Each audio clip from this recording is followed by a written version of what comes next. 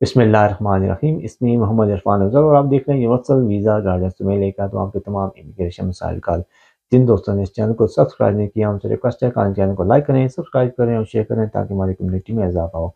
आज की जो वीडियो है, वो है आप लोगों का काफ़ी ज़्यादा क्वेश्चन थे। ऑस्ट्रेलियन वर्क परमिट के हवाले से फोर जो है, सब वीज़ा कैटेगरी उसकी क्या रिक्वायरमेंट है? किस तरीके से अप्लाई किया जा सकता है। तो स्टेट वे चलते हैं जी इसकी रिक्वायरमेंट्स के ऊपर। जैसा कि मैं आपको बताया कि ये फास्ट प्रोसेस है। आफ्टर कोविड इन्होंने ऑस्ट्रेलिया वालों ने तो बहुत ज़्यादा बैकलॉग को ख़त्म कर रहे हैं और अब हर चीज़ को फास्ट ट्रैक पर इन्होंने डाल दी है।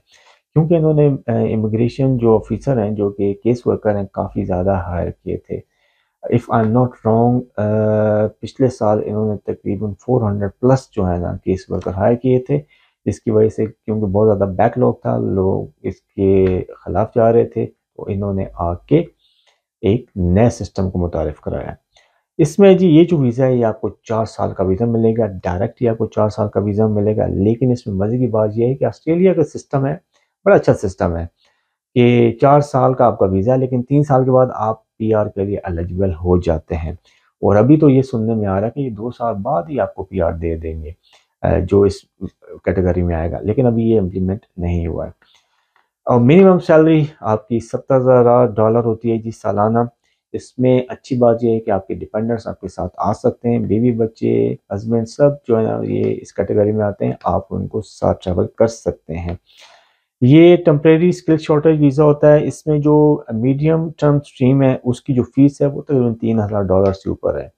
और बाज़ केसों में तो ये होता है, अगर आपका एम्प्लॉयर अच्छा है तो वो ये सारी फीसें पे कर सकता है। आपको फ़ीस पे करने की ज़रूरत भी बाज़ात नहीं पड़ती। रिक्वायरमेंट क्या है जी, इसकी आपके पास दो साल का वर्क एक्सपीरियंस होना ज़रूरी है। वर्क एक्सपीरियंस क्या है, जिस जॉब के लिए आपने अप्लाई किया है रेलिवेंट एक्सपीरियंस आपके पास होना चाहिए और रेलिवेंट एजुकेशन आपके पास होना ज़रूरी है। क्रिमिनल रिकॉर्ड चेक आपका होगा।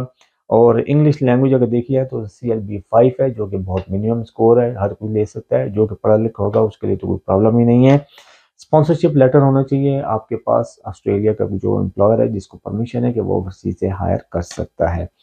इसके अलावा ये जो प्रोसेस टाइम है, बहुत ज़्यादा फास्ट है। मैंने आपको जैसे कि पहले अर्ज़ की, ये तकरीबन दो वीक के अंदर अंदर आपका डिसीज़न आ जाता है। अगर आपका केस कॉम्प्लिकेटेड है तो फिर आपको तकरीबन दो महीने लग सकते हैं। लेकिन नॉर्मल प्रोसेस टाइम दो वीक है। तो बहुत ही फास्ट प्रोसेस है। अब कौन से ऑक्यूपेशन है? मोस्ट इंपॉर्टेंट तो ये है ना कि भाई आप बात करें तो कौन सा ऑक्यूपेशन इस लिस्ट के अंदर है?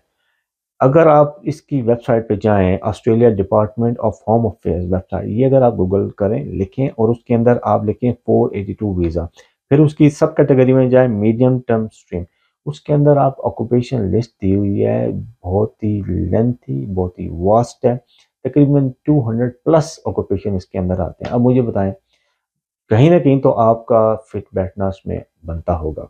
कोई ना कोई क्वालिफिकेशन तो होगी आपके पास। तो मेरा ख्याल है कि अगर दो सौ ऑक्यूपेशन है तो आपके लिए वो आसान हो जाना चाहिए।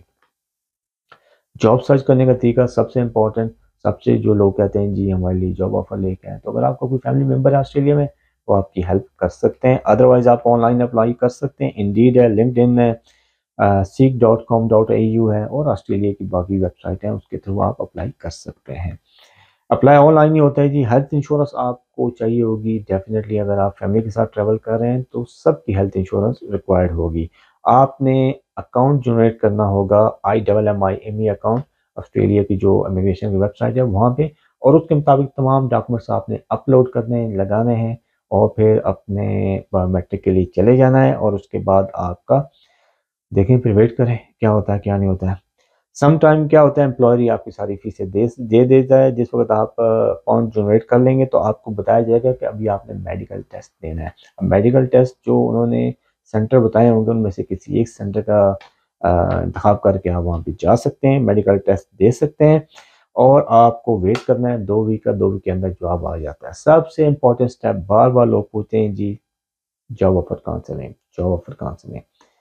तो जॉब ऑफ़र पहले तो देखें, अगर आप पढ़े लिखे हैं तो वीक में एक दफ़ा भी अगर आप बैठें लैपटॉप पे के ऊपर सीवी अच्छी सी बनाएँ, अच्छे से कवर लेटर बनाएँ और आप वहाँ से एम्प्लॉयर को डायरेक्ट ईमेल करें। ये आजकल जो रेशो है, वो तकरीबन 300 सीवी के बाद कोई एक रिस्पॉन्स आता है। ये आजकल का बता रहा हूँ। तो कंपटीशन बहुत ज़्यादा है। आप अप्लाई करेंगे तो फिर ही आपको मिलेगा। अगर आप बैठेंगे, जी मिलता ही नहीं है तो उसको कुछ भी नहीं मिलता। कोशिश करेंगे तो ही मिलेगा। तो ये थी आज की वीडियो। होप आपको वीडियो पसंद आई होगी। अपना और अपने दिलों का बहुत ख्याल रखें और मेरे चैनल का थैंक यू